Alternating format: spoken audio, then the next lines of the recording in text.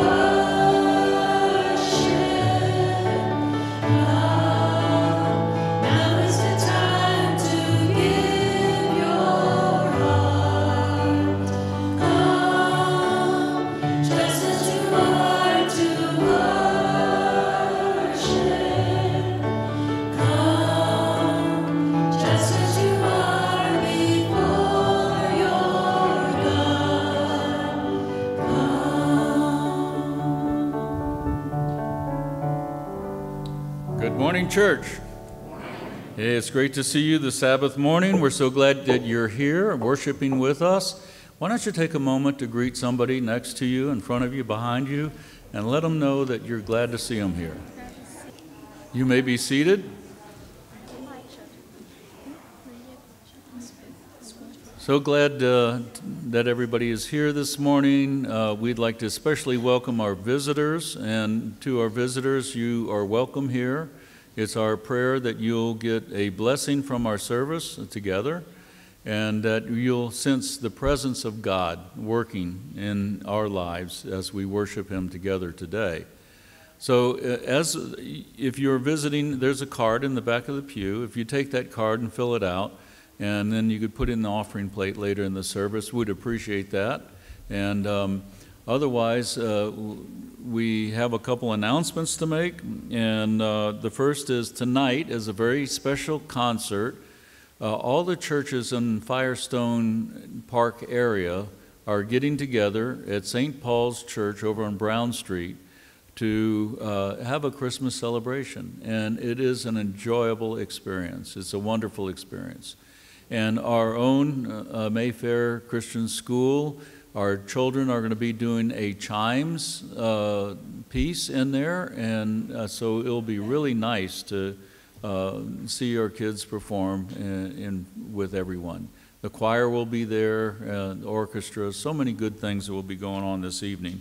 And then afterwards, they have a little uh, time for refreshments following. So that's tonight at 7 o'clock, and uh, so plan on being there. Several other announcements in the bulletin to uh, keep in mind.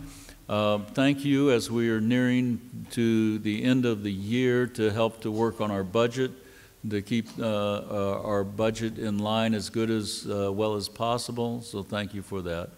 Let's ask God's presence in our worship this morning. So, Lord, we have come through another week.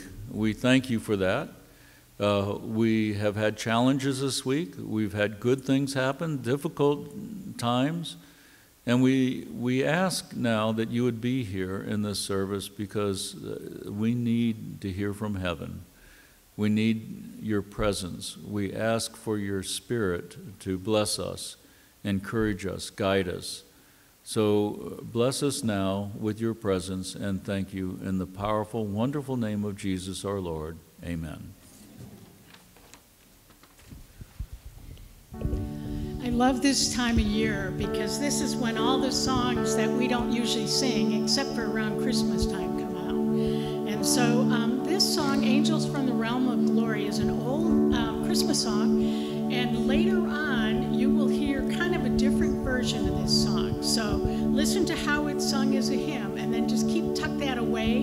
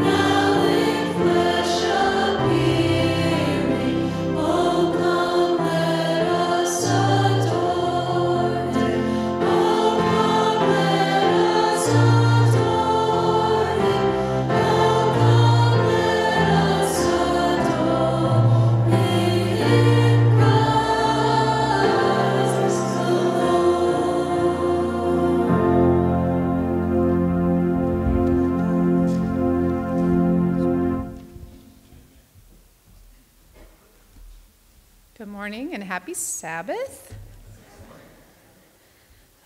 Um, over the course of the last month, well, in the month of November, we were discussing uh, Camp Mohaven quite a bit. Uh, we prayed for Camp Mohaven, um, thinking about if there was money we felt like we could pledge for this new building project. But today, and that is our offering emphasis today, is Camp Mohaven. But I wanted to share a bit about why Camp Mohaven is special to me. Um, but first, I'm going to say it's used for many different events, and I'm sure you're all aware of that. But we have things like church retreats, which I think we have a picture maybe of one of our church retreats up there. Um, looks like we're eating, always a good time when we're eating, right? Um, men's and women's retreats happen there, leadership training, um, Pathfinder events, adventure events, uh, young adult retreats, and there actually are quite a few um, other organizations that rent the camp as well. Um, every year, some dating back to the 60s. They've been there for a very, very long time. Um, but one of the things that's special to me about Camp Mohaven is summer camp.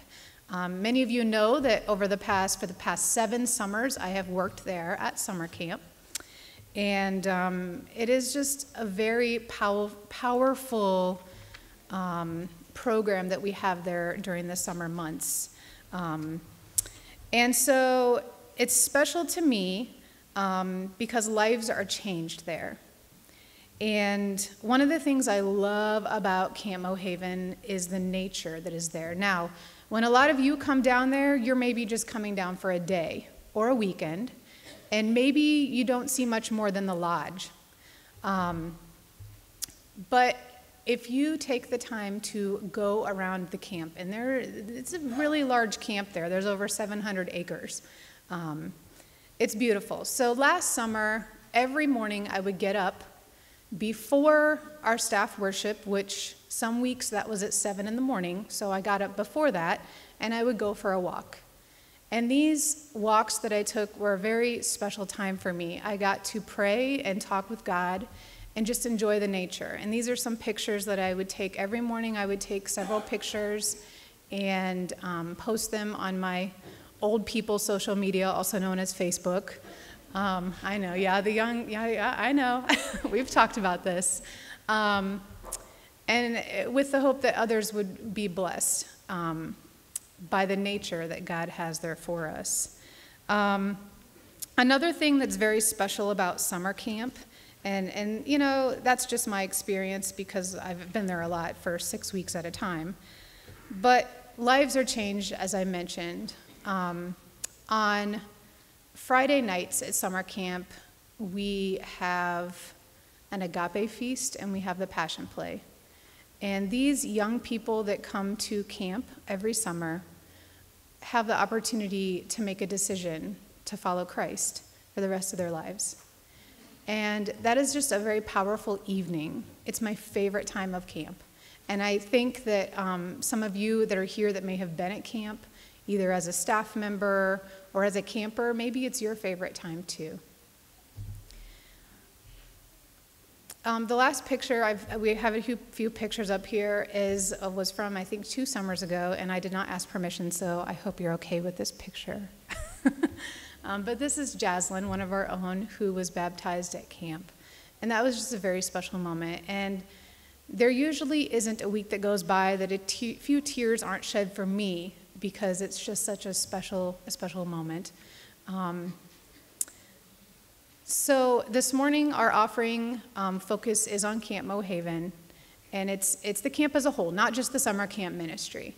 But if you feel that God has placed upon your heart to give just a little bit more. I know it's a rough time of year. We have a lot of projects that we're giving to, and the holidays are coming up.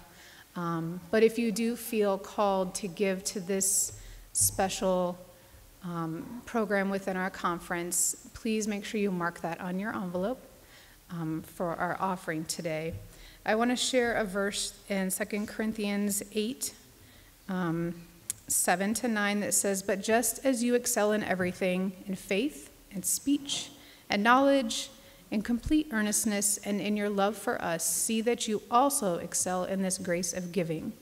I am not commanding you, but I want to test the sincerity of your love by comparing it with the earnestness of others. For you know the grace of our Lord Jesus Christ, that though he was rich, yet for your sakes he became poor, so that you through his poverty might become rich. Will the deacons please stand? Let's bow our heads. Dear Heavenly Father, I thank you for everything that you've provided for us. Sometimes we feel like we want more and we get a little greedy. But Lord, we should just be thankful for what we do have. And if possible, help us to be able to give to others. Um, bless the offerings that are given today. Help them to go towards the camp or our church, whatever we feel called to give to. And be with us as we go throughout the rest of our Sabbath day. Thank you for all your blessings. Amen.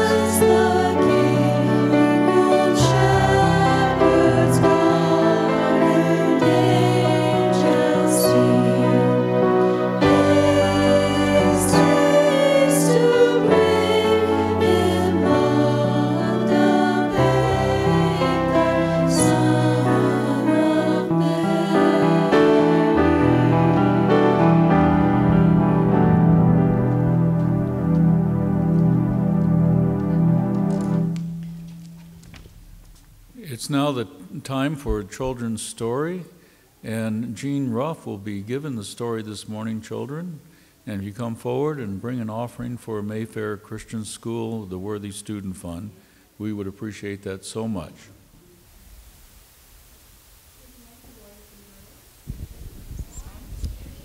Can you hear me?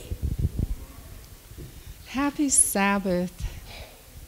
Did you have a good week? You did? I did too. We praise the Lord. Today I have some questions for you. First question is Is it okay to take something that is not mine? Can I take something and keep it if it's not mine? I see heads nodding. Is it okay for you to take something that's not yours? No? You shaking your heads no? Is it okay to borrow something from someone and not return it?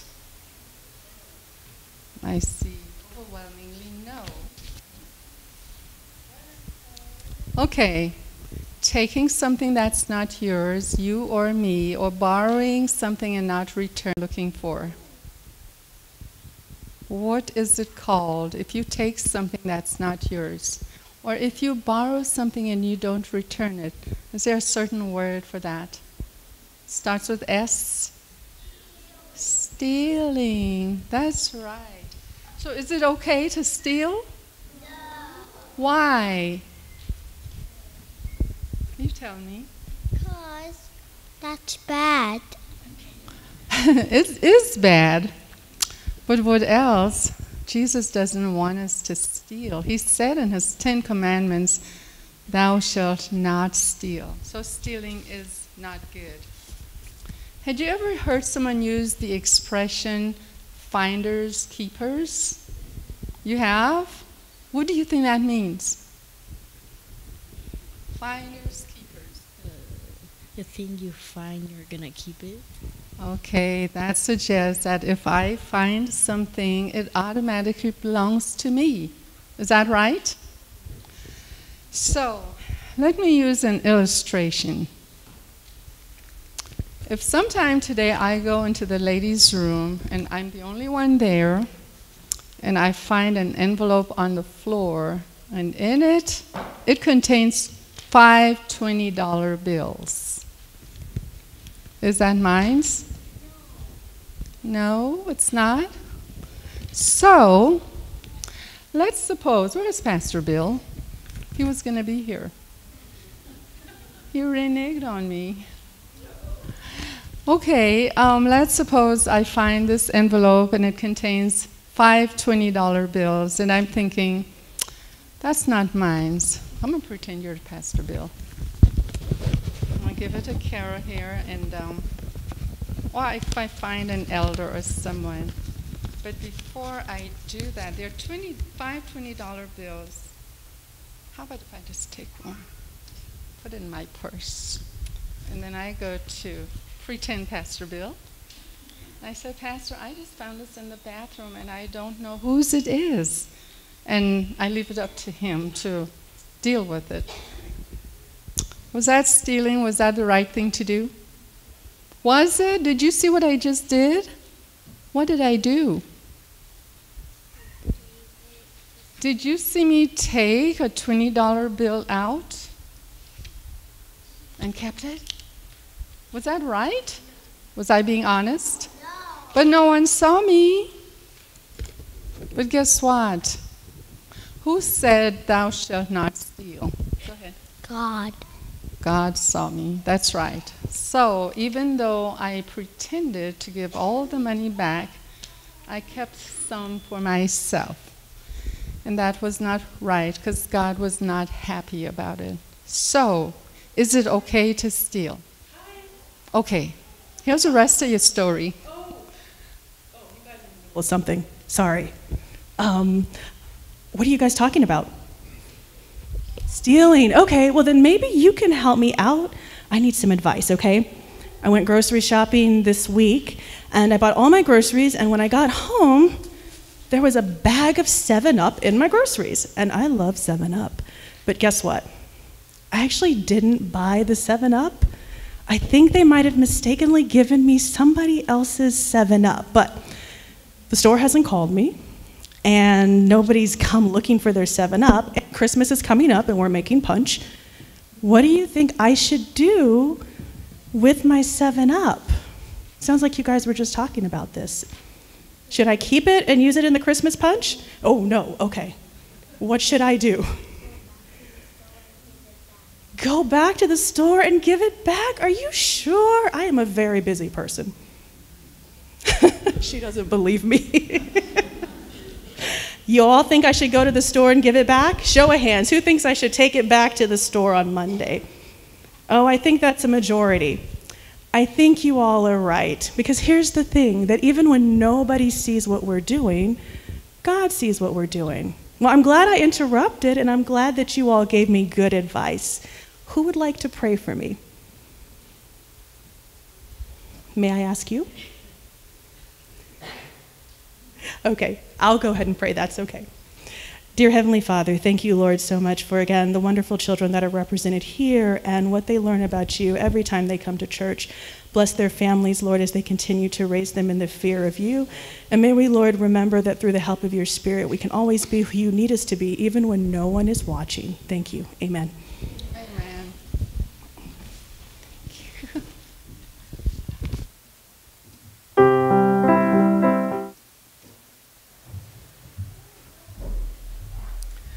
Good morning. Happy Sabbath. At this time, we have the honor and the privilege to, to come before God and to bring our requests and our praises to Him. And so we just want to bring a few um, prayer requests uh, to the church's attention. Many of these you've known about for a long time, some are new. Uh, we want to keep Lucky Minister in prayer. We've been praying for him for a while, but um, he's just given us an update that he may possibly have COVID now as well. So we want to make sure that we continue to pray for him. Uh, we want to keep our principal, Kim Purvis, in mind. She had a fall this week and is, um, had some injuries, not feeling well. We have many people on the list who need healing, many people on the list who are, are struggling with cancer and need God's healing and protection. Several of our church members or family members are, are dealing with grief and loss as uh, friends and family members have passed away. And uh, so we have uh, two people as well who are waiting on transplants. We have Pierre May, who is uh, waiting for a heart transplant, and Don Drury waiting for a liver transplant. Many concerns, um, physically as well as spiritually and emotionally, uh, in our in our church family. So I encourage you to um, to join me in prayer today, but also to take this list home and to think of these um, individuals and remember them in your personal prayers at, at home as well.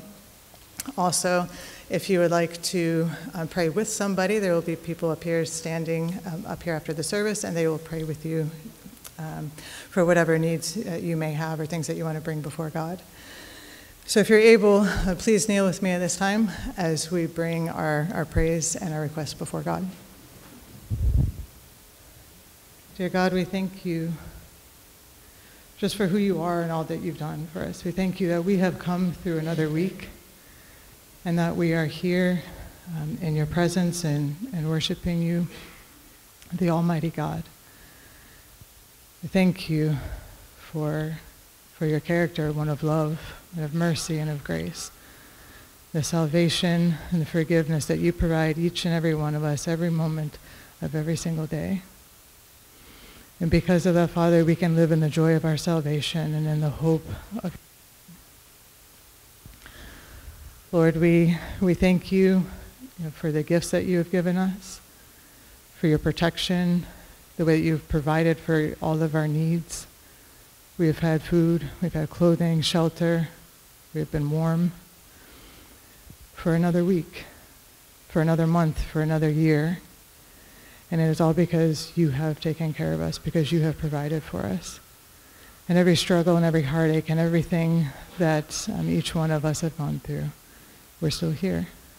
And it's because of your love and your protection. Lord, we ask that you would be with each of our prayer requests. Some of them are new, some we've been praying for for a long time. And you know each one of their needs. You know the heart of each person. You know their physical needs, emotional, and spiritual. And you know how to heal. You are the great physician, the one who can heal physically and emotionally but Father, you are the one who heals spiritually. And we would ask that you would put your hand and your power on everybody's heart and life. We ask that you would give each one of us hearts and minds that would submit to you and to your will. And that we would live in a way that is, is honorable and, and holy for you. Lord, we also ask that you would send your spirit in a special way upon this time and this church, this service, particularly on the pastor as, as your word is brought, that you would speak through him and that our hearts would be open and ready to receive it. Lord, again, we thank you for your love, for all the things that you have done for us. And we just praise you and worship you. Amen.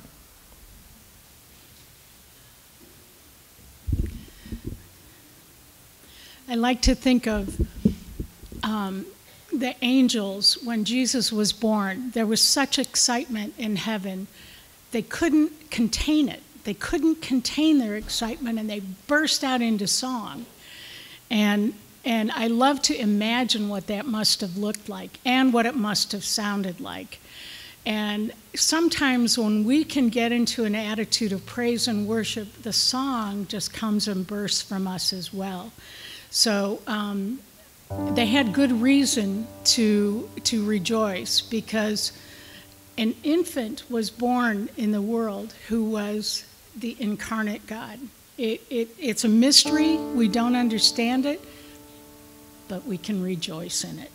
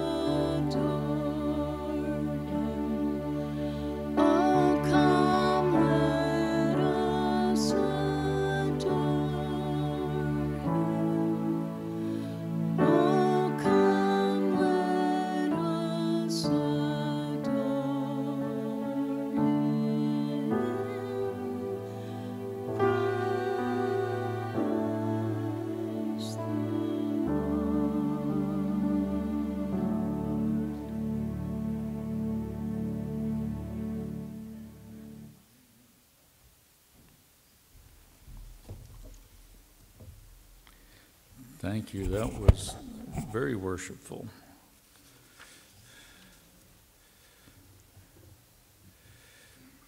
And it fits right in with the message today, which you won't be uh, evident at the very beginning, but it will, you'll see where it goes. In October 1871, the Great Chicago Fire destroyed much of this bustling city of Chicago. But surprisingly, the flames actually started on the other side of the Chicago River. So, how did the fire cross over the river? Because it's pretty wide at that point, and reach the buildings of Chicago. The river jumping fire is partially explained not only by the high winds that spread the fire, but the wooden ships that were in the harbor back at that time. They were moored on the river. There was, however, another more important factor that caused the fire to spread. In those days, the Chicago River was a shallow, sluggish sewer for the entire city. And it was absolutely filthy. The Union stockyards in Chicago dumped all of their animal waste into the river. People called it the Stinky River, rightly so. And it was so bad that the waste was actually combustible. Now, have you ever heard that closer to home here? Uh, Cuyahoga Falls River, I believe, uh, has had that problem in the past. And so, of course, when the fire broke out, the actual river caught on fire, which in turn caught buildings on the other side on fire. And after this devastating event, finally everything settled down. People became much more aware of all the raw sewage and putrefaction flowing from the Chicago River right out into Lake Michigan, just as had, done, had been going on for years before that. But the interesting thing is of this story, and the really disgusting thing was that not too far from where the river waters flowed out into Lake Michigan, there were the drinking water intake pipes for the city. That's a recipe for disaster, right?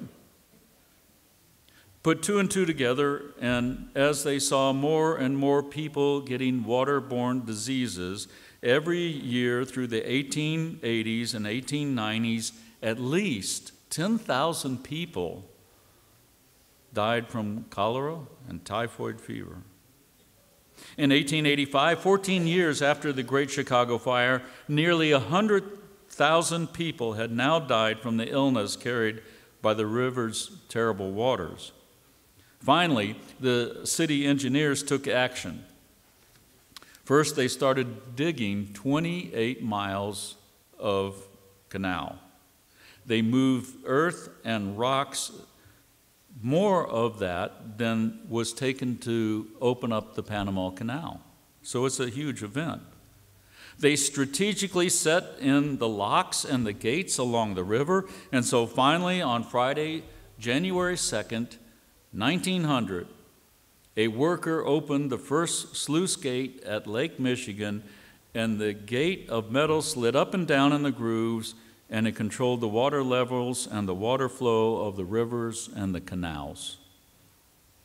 The gates of the Chicago River allowed the waters of Lake Michigan now to flow into the Chicago River, pushing everything in the opposite direction than what it had flowed before. So the flow of the river had actually been reversed, and when it was reversed, it now flowed into the canal into the Des Plaines River, into the Illinois River, and eventually into the Mississippi River.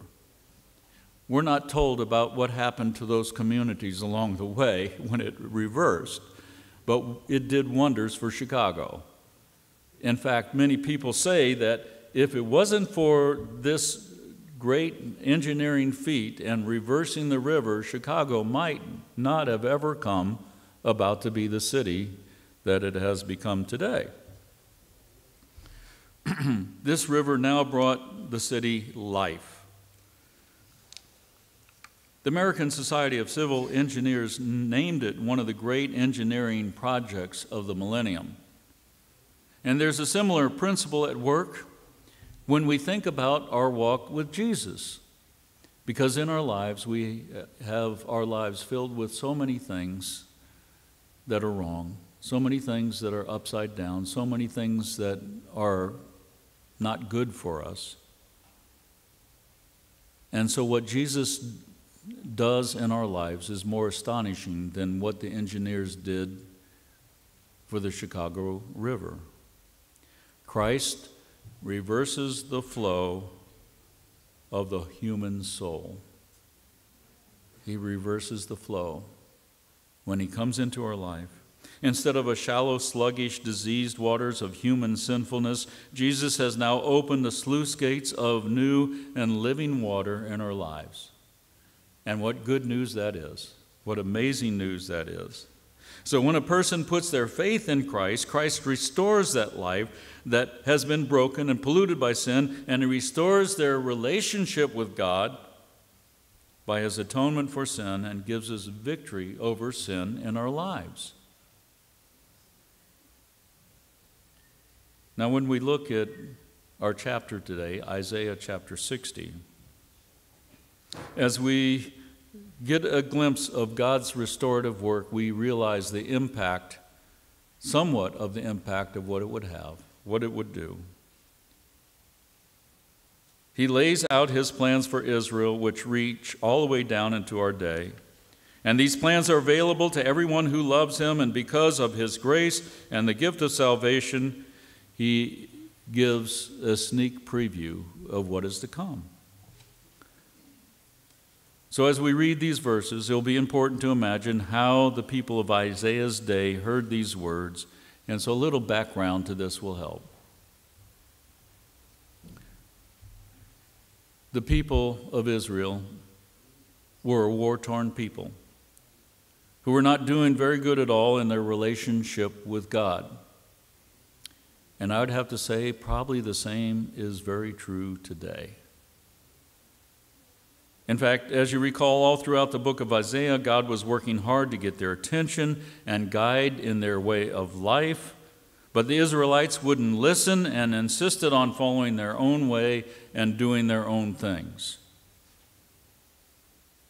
This eventually led them to wars with their surrounding nations, and the further they wandered away from God, the deeper they dug themselves into the hole that they weren't able to climb out of.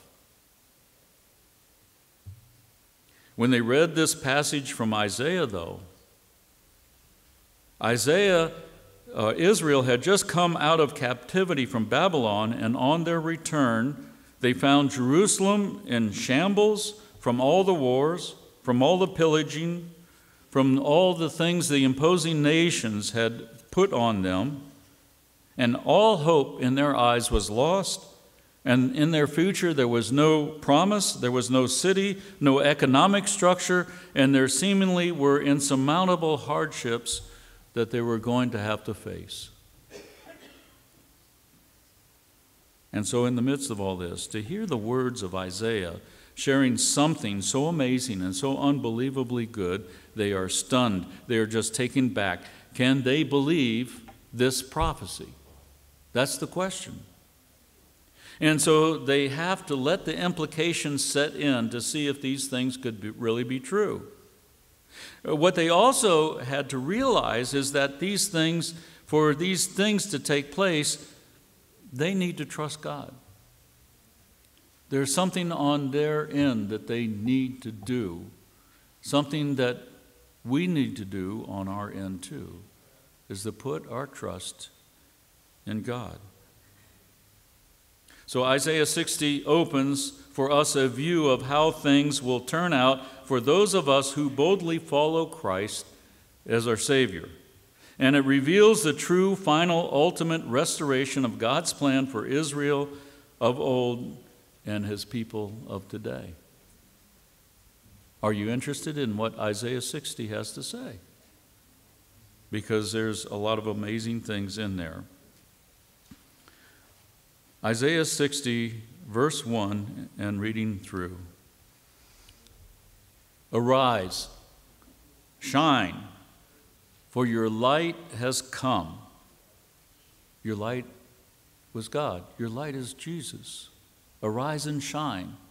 Put off the dreary, put off the uh, disappointment, put off those things that are challenges looming before you. Arise and shine, for your light has come, for the glory of the Lord has risen upon you. And when we see the glory of the Lord, as Jan was talking about in the song, how beautiful it is to see the Christ child, as we realize who this Christ child is to us, as we see the greatness of God and His majesty. Arise and shine, for your light has come, and the glory of the Lord has risen upon you.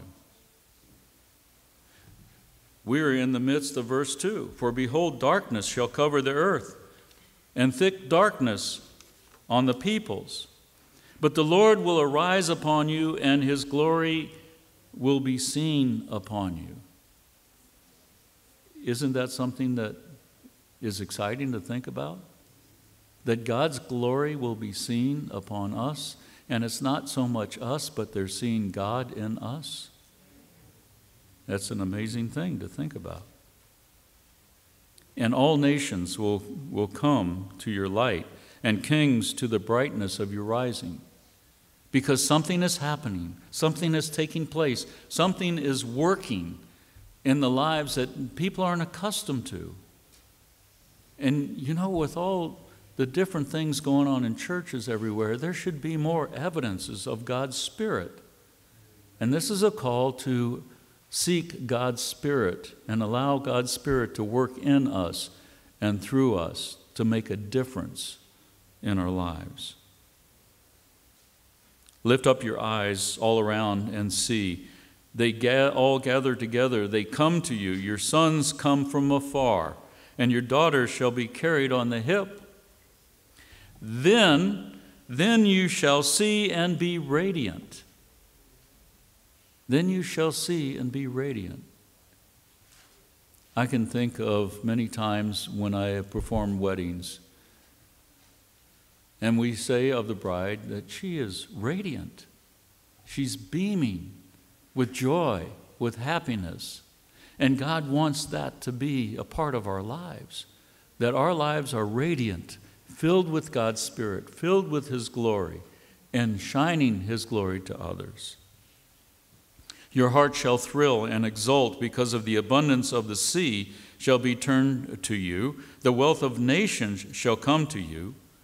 Now, as you're thinking about this, this has uh, allusions to the story in the book of Luke to the wise men who came from the east. And think about some of these things that are saying in Isaiah 60 and compare them to Luke where the wise men came. And a multitudes of camel shall cover you, and young camels of Midian and Ephah and those of Sheba shall come. So from all over. Now, camels, we think of camels and we think, ah, they're dirty animals. But camels, to them, they were the Lamborghini of the day. They were the powerful car of the day. And so when camels come in groups to you, you're a very wealthy person. And so this was exciting. They shall bring gold and what? Frankincense and shall bring good news, the praises of the Lord.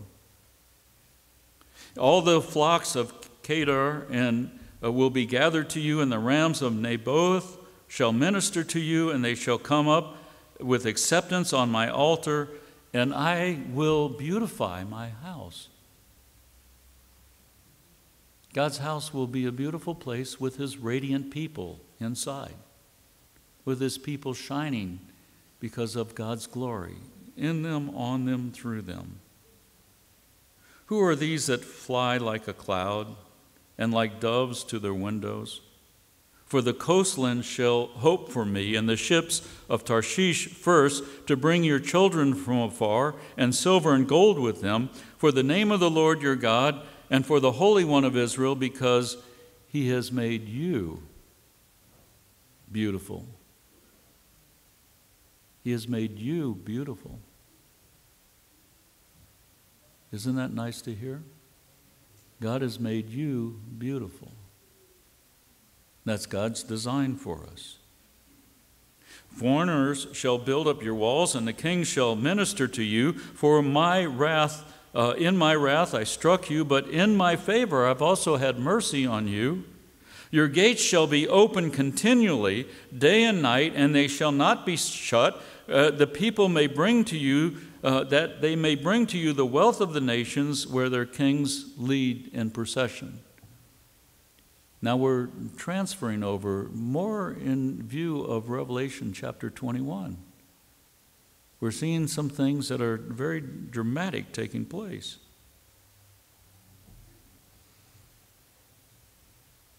For the nation and kingdom that uh, will not serve you shall perish, and those nations shall be utterly laid waste. And the glory of Lebanon shall come to you, and the cypress, the plane, the pine, to beautify the place of my sanctuary, and I will make the place of my feet glorious.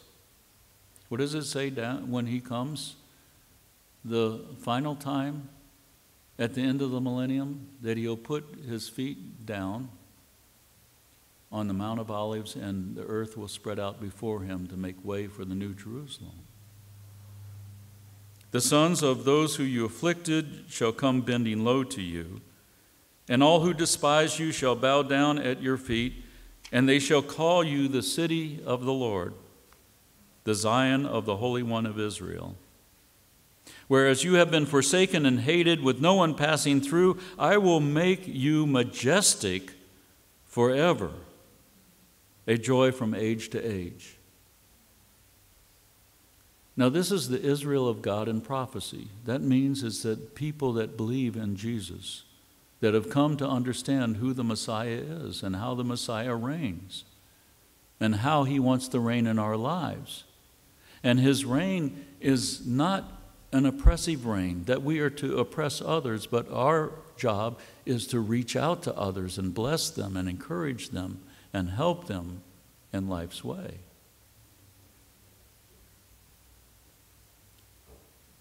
You shall suck the milk of nations, you shall nurse at the breast of kings.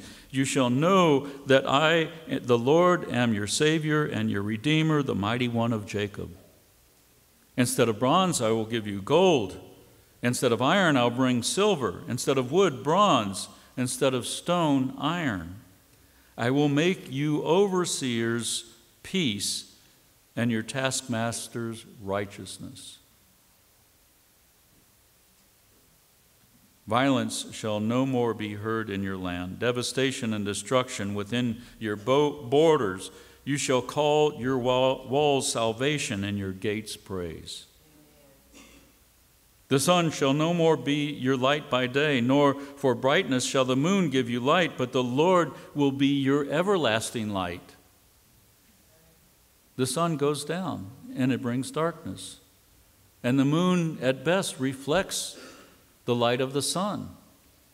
But we will have a constant brightness of the glory of God in the very midst of us. Your God will be your glory.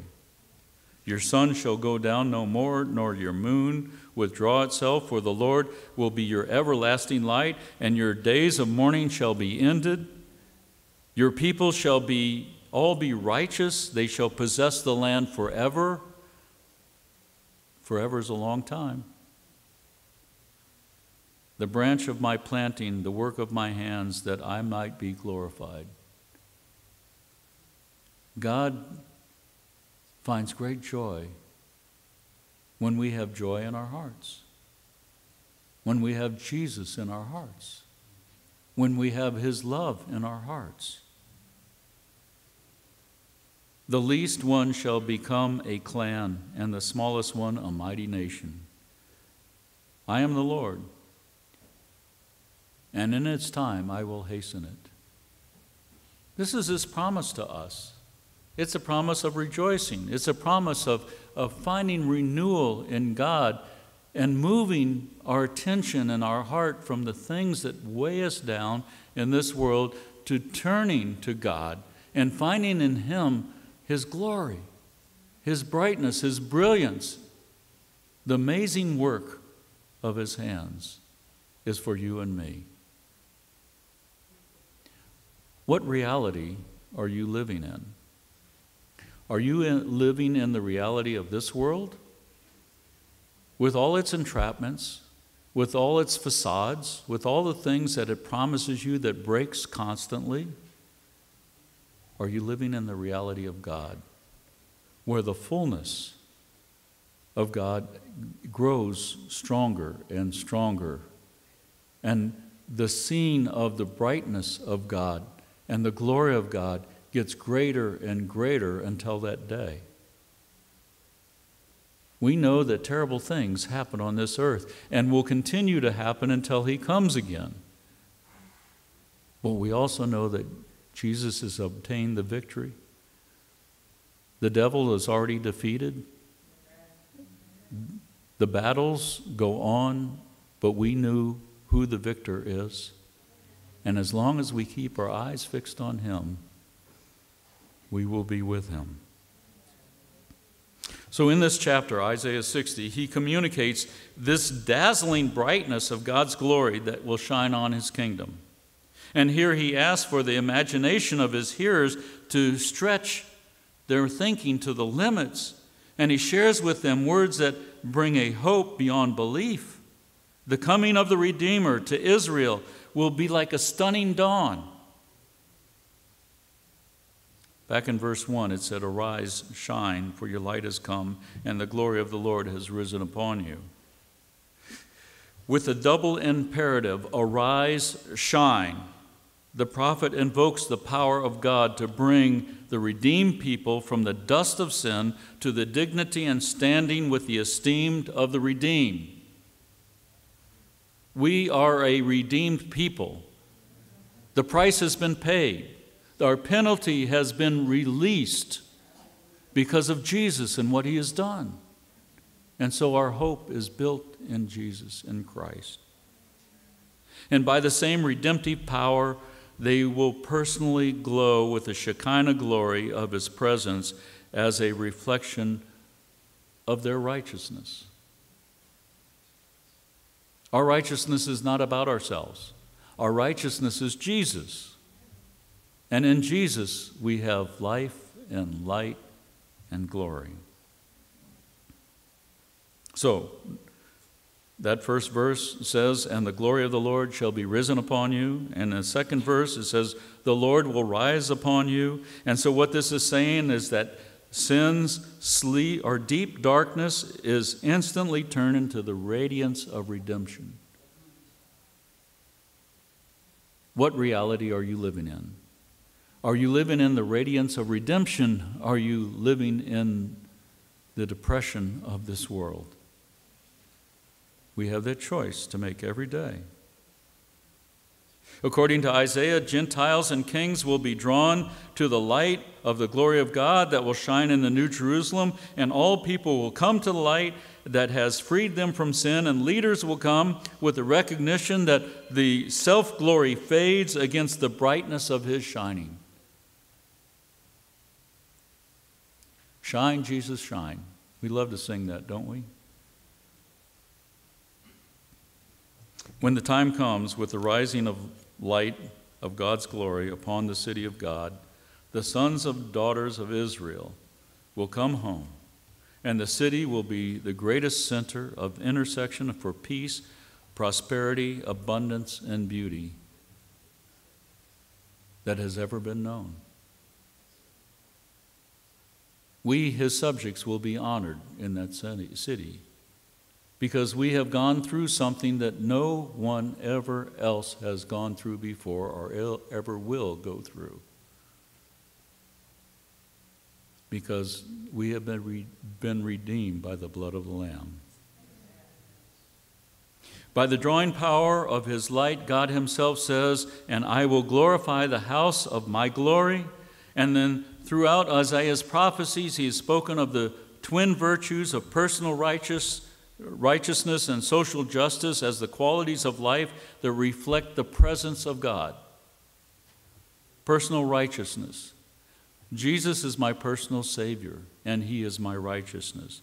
And social justice, I live and treat others how I want people to treat me. I live with a heart for care for those that are hurting, those that are downcast, those who are struggling in life.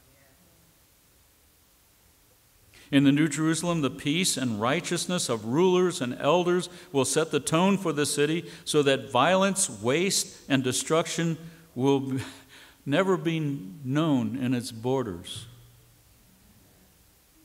That will all be behind us. That will be gone. I found six promises uh, from these texts that usher in the grand city of God. Six promises. First, found in verse 19 the people of Zion are promised that the Lord will be their everlasting light. The Lord will be our everlasting light. Light from the sun, our reflected light from the moon, both of which rise and wane, will no longer be necessary because the Lord will be our consistent light. Secondly, with the rising of the everlasting light, the days of mourning shall be ended. And Revelation 21, verse 4, echoes this promise, the comforting words. And God will do what? He'll wipe away every tear from their eyes. And there shall be no more death, and nor sorrow, nor crying, and there shall be no more pain, for the former things have passed away. Third, righteousness will reign in the hearts of people. Jesus will reign in our hearts. I want Jesus to reign in my heart, but I'm like Paul struggling in Romans 7. I want to do the things that I agree that the law is good. But I find I'm struggling with that because of my human sinfulness. That sinfulness will be gone. Spirituality will be a matter of being created by the divine redemptive uh, act and human faith combined, and Isaiah's preaching of truth will no longer seem futile. His prophecy will be vindicated. Fourth, as a direct result of their faith in God, the people of the New Jerusalem will claim their rightful inheritance to the land promised them. Now, you know that my mother recently passed away. And um, she left a small inheritance. And that inheritance is legally uh, belong divided up in our family to legally belongs my part belongs to me. And the inheritance of God's kingdom legally belongs to each one of us just as much as we have an inheritance from a family member. And even more so, it's more sure because the God's made it that way.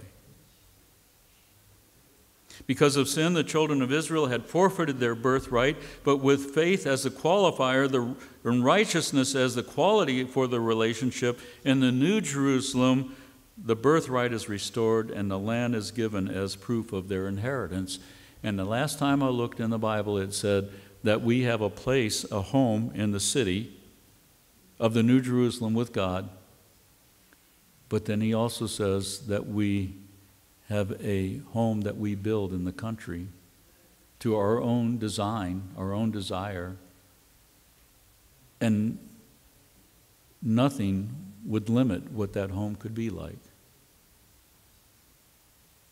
It will be more amazing the more we think about it, that we are God's people and we were with Him, safe in His kingdom, now and evermore. How beautiful that is. Fifth point closely related to the inheritance of the land is the restoration of the branch or the vine of God's own planted. God is no longer disappointed with the vineyard that He had planted and nurtured um, as he's spoken of not only in Isaiah, but as in the Gospels. Righteousness replaces rebellion, and God will be glorified through the life and activities of his people. Again, God is happy when we're happy.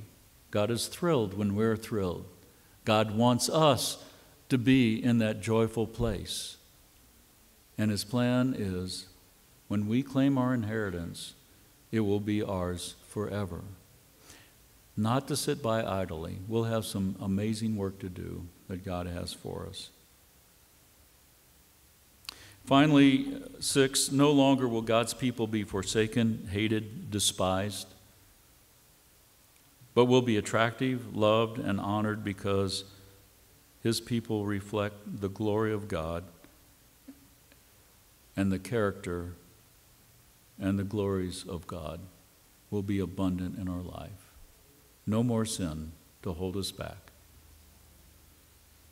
Our light has come in Jesus Christ, and the glory of our Lord has risen on us. Once upon a time, the earth was made whole and beautiful, shimmering like an emerald, filled with glory, bursting with anticipation. Such wonders waiting to be unveiled, such adventures waiting to be ours. Creation was a fairy tale, a great legend, but in reality, this is a true story of the past, the story of our beginnings. Once upon a time, we were made to be whole and beautiful and glorious, striding through the garden, the sons and daughters of God. We were to be holy and powerful. We are to rule the earth and the animal kingdom with loving kindness. But as you know, Eden was vulnerable. Something dark slithered in the shadows, something most foul and sinister in the air. Banished from heaven, Satan and his fallen warriors came seeking revenge. And for the last 6,000 years, he has unleashed his sinister havoc on the people of this planet who were created in the image of God. But at last, the time of reckoning is near. If the coming restoration is to be fulfilled on earth and in our lives, Satan and his armies must be destroyed, never again to arise. And do you know that is the promise that God has given us? Never again to arise. Evil will not arise a second time.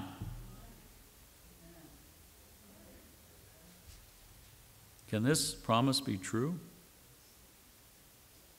Evil is to be judged and utterly destroyed forever and ever.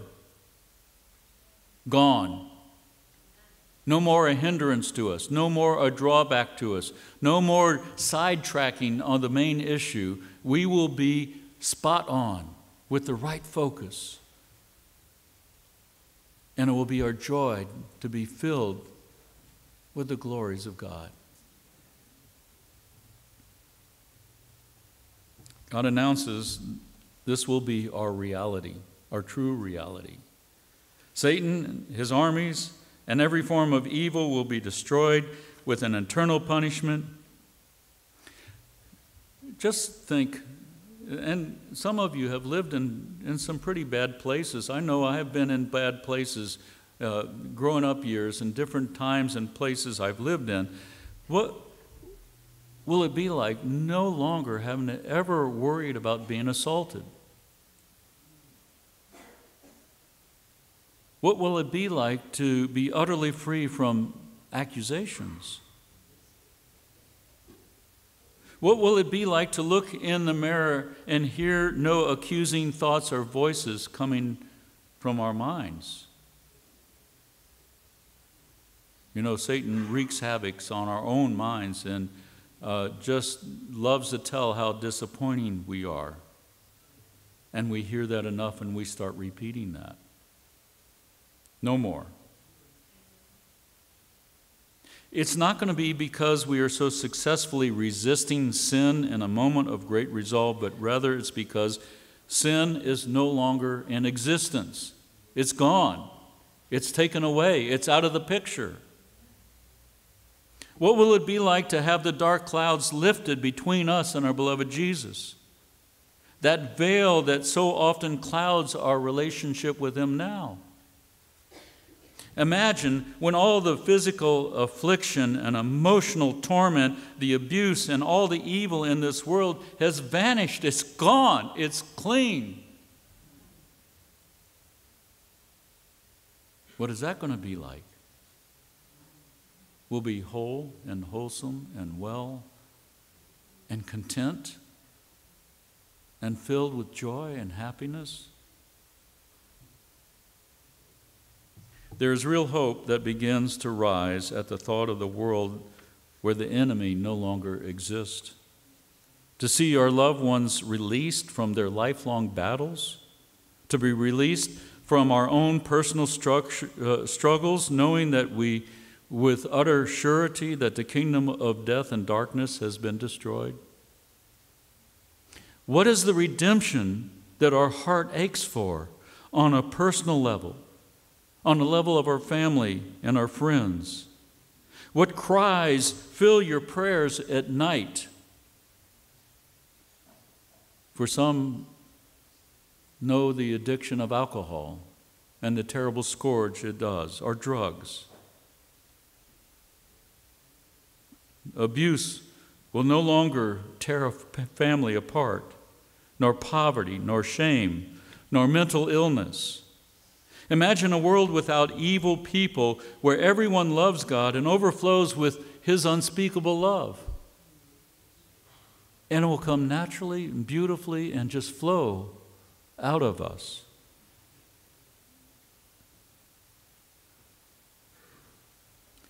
You look to the right and you look to the left, and you only see people you can trust confidently, truly. Holiness will permeate all things. Joy is the constant mood of the kingdom, not to mention the massive relief and vindication for our now chained souls. I am not all that I have been meant to be, but I will be unbridled, unplugged, completely free to be all that God created me to be and how glorious that will be. So, my dear friends, these longings were given to you by God, who loves you dearly, and these longings will be fulfilled. Keep on keeping on. Keep your eye on the mark. Don't give up. Don't let go. Stay with Him, and He'll take you to that place. Precious Lord, thank you so much for your kindness, your mercy. Thank you for the help that you give us today. But even more so, we think about the promise that is coming to us. Some days are difficult, some days are really hard, some days we are tempted, and some days we succumb. Lord, but always let us remember to keep our eyes on you. Give us a heart to understand how much you long for us, how much you miss us for being with you, that you understand the trials that we go through in this earth, the difficulties that we face. You understand, and you long for the day that we could walk side by side, face to face and we will be whole because of Jesus. Because it is in the mighty, wonderful, amazing name of our Savior. We say, Thank you, Jesus. And everybody says, Amen.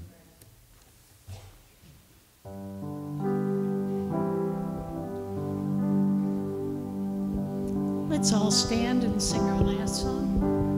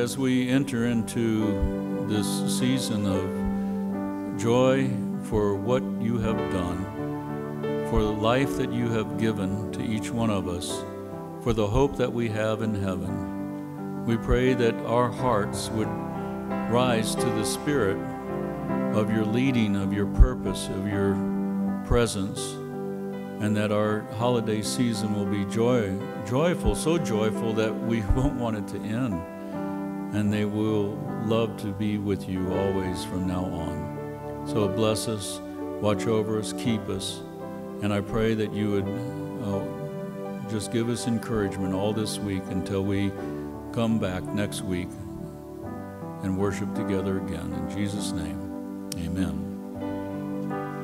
Before you leave, just a couple things. Uh, there will be people up front if you would like to have prayer, that we'll be glad to do that. Secondly, don't forget about our program tonight at St. Paul's Church on Brown Road at 7 o'clock. It will be an enjoyable experience. God bless you